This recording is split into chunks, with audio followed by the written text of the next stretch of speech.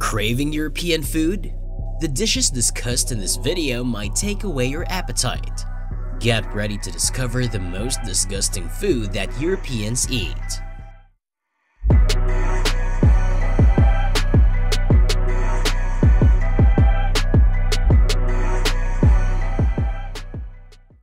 Number 1. Arroz de Cabidela or rice and blood. Well, this is the perfect dish for you daring eaters. The famous Portuguese cabidela, a dish of rice cooked in the blood of a slaughtered chicken that would have made Vasco da Gama wince. When the animal is killed, the blood is drained and combined with vinegar. Yummy! Later, the remaining chicken flesh is added when the rice has darkened and has become creamy in texture. To give the dish a bit more greenery, they also add parsley. This dish dates back to the time when the Suevian and other tribes were accustomed to eating poorer cuts of beef that lived in the Iberian Peninsula. Cabidela splits taste and opinions among Portuguese locals and more adventurous guests. It's bizarre to some and flavorful to others. And if you are tired of the taste of chicken, cabidela can also be made with blood from ducks or pigs. Number 2. Hakarl or fermented shark. The one country that attracts many of us is Iceland. Well, apart from its greenery, you may have heard a thing or two about Icelandic foods. However, one food that you might never want to try there is hakarl. Sharks are often regarded as dangerous animals. What about eating them? Don't worry, they're lying if they tell you that the best method to prepare a shark is to bury it in the ground, urinate on it, and let it rot for a while. Possibly, however, not for the reason you believe. The shark ferments instead of rotting, but the rest of the process is true. Before the development of modern cooking procedures, genuine urine was still used, though not now. Food had to be preserved for generations by the Icelanders through smoking, pickling, or drying. This may help to explain how they came up with the concept to consume fermented shark or hakarl as it is known to Icelanders. The concept may have originated from the fact that the shark does in fact smell like ammonia. Those who enjoy extremely strong cheese might enjoy it right away. Others, well, let's just say it's no longer a frequent dish. The older generation in Iceland is mostly the only group that still consumes it and reportedly like it. Number 3. Jellied Eels This one is really interesting. Jellied eels are chopped eels that are simmered in a flavorful stock and then served cold. This traditional meal, which was developed in London, is one of the oldest to still exist in the city today. Eels could be prepared inexpensively and simply by being chopped, boiling them in herbs, and then letting them cool. The eels would then make enough of their own gelatin to form a soft jelly around the pieces. This method was especially used by the working class people in the East End. If you ever get a chance to eat it out, let me know your experience. Number 4. Criadillas or bull's testicles. Criadillas, commonly referred to as bull fries, are testicles from bulls that have been slain in a bullfight that have been floured and breaded.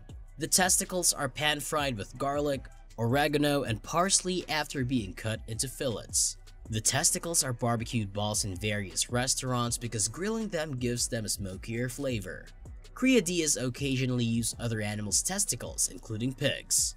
It goes without saying that Spaniards think eating coveted bull testicles is a terrific way to show how tough you are. Therefore, swap out your Red Bull for a true hit of Spanish taurine the next time you're in Spain. I have seen it in a few local supermarkets, but I never bought it though. Number 5. Cuisse de grenouille, or frog's legs. Who doesn't like Paris? Globally, French cuisine is renowned for its elegance and flavor. However, when it comes to the most famous food in France, you may be shocked to hear this out. Probably their most well-known dish is cuisse de grenouille. The history of this unusual snack dates back to the 12th century when church officials, concerned that the monks were becoming overweight, ordered them to avoid meat for a predetermined number of days each year. Frog's legs are now one of only two delicacies in France that, when mentioned, make people feel sick to their stomachs. The other dish is of course snails which, irrespective of their taste, are at least easier to catch. Number 6. Pig's trotters or pig's feet. Also known as crubeens, a term that is derived straight from the Irish Gaelic word cruibni, which literally translates to pig's feet. They can be eaten fried, grilled, or baked and are made from the feet of pigs, specifically down from the ankle. You should be aware that they are typically eaten with your hands if you feel like trying some. Yuck. When bacon factories started operating in Cork, Waterford, Limerick, Dublin, and Belfast in the late 1800s, crubeens became readily available in Ireland. Historians claim that on Saturday nights, large pots of pig's feet were prepared and served in the bars. The pub owners made a really smart business choice because crubeens are very salty and eating them makes you quite thirsty. However, as crubeens tend to be quite greasy and the grease stains on beer glasses are difficult to remove, many pubs have stopped serving it. Number 7. Smalahove or Sheep's Head Whoever has been to Norway knows that the variety of food is unbelievable. However, you might want to stay away from one food while visiting Norway. Have you ever eaten sheep? Well, many of you guys definitely have. But what about a sheep's head? Yes, you heard it right. When a Norwegian requests a head on a platter, they mean a sheep's head that has been cooked and placed on a plate. Imagine yourself eating it while singing Christmas carols because it's frequently served as the main course immediately before Christmas. The recipe is quite simple. The head of the butchered sheep is first divided in two. The brain is then removed, and the pieces are then submerged in water for two days. Nothing is taken away as the brain is cooked separately and served with the main course. The main delicacy is thought to be the tongue and the eyeballs. Strange stuff, isn't it? Number 8. Surströmming or fermented herring. If there's one dish I will likely never eat in my life, it's this one. Wanna know the reason? Consider the worst odor you can imagine. All you really need to know about surströmming is how it is made. Small Baltic herring are gathered in the spring, salted, and allowed to ferment naturally before being stuffed into a tin to create this 5 century old Swedish delicacy. The sweet stuff is ready to go on sale in about a month. The tin continues to ferment or sour as the Swedes say, and begins to swell. To put it gently, the smell is awful. In fact, it's sometimes compared to the smell of rotten eggs and exposed sewer drains. Even well-known persons acknowledge that overeating surströmming isn't a good idea, despite the fact that some people think the flavor is genuinely great. Number 9. Rasiparu or blood potato soup a soup that has blood potato in it. Weird, isn't it? The northern Finnish region of Oulu is known for its specialty known as rasipat. In essence, the dish is a simple soup composed of potatoes, stock, pork, and, you guessed it, blood pudding. The pudding itself is prepared with rye, spices, and hog blood.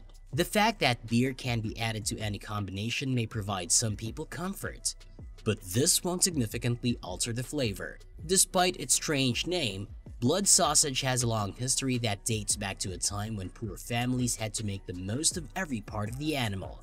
In any event, Rasiparu is a favorite treat of many people in the Oulu area. A club even bears its name. Also, many parents pack this as a lunch for their children in school. Number 10.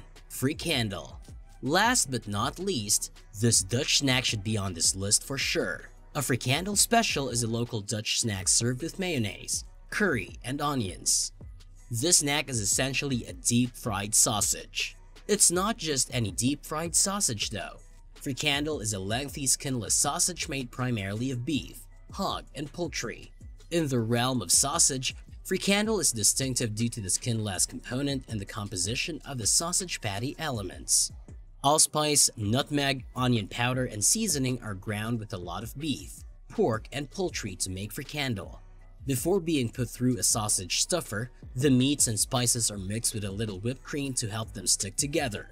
The lengthy sausages, which may be up to 10 inches long, are then boiled and fried to create a deliciously crisp surface each maklik.